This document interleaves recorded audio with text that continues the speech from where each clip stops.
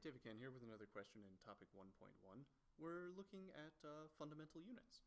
We want to know which of the following is equivalent to the joule.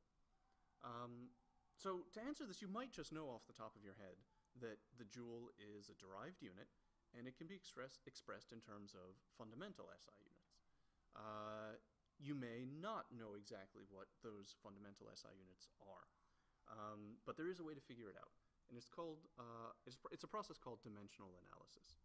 Uh, to do dimensional analysis, you need to know some sort of equation uh, that relates the joule to, to other things.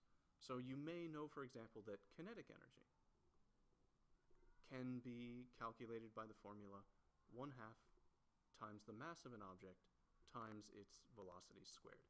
You, you may know this, you may not uh, at this point in the course, but I'm sure you're going to know it very well very soon. Um, so what we have here is an equation containing quantities that each have units.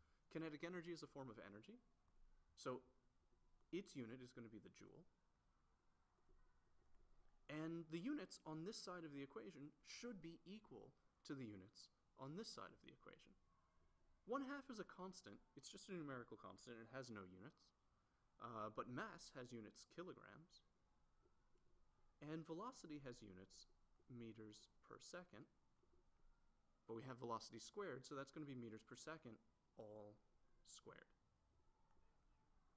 Simplifying on the right-hand side, we get kilograms, distributing square in meters squared per second squared.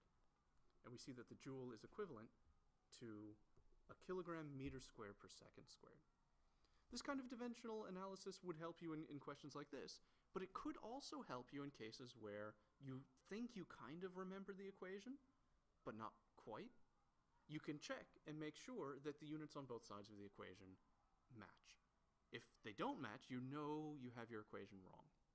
If they do match, it doesn't necessarily mean that your equation is right, though. Um, something to keep in mind. It's called dimensional analysis.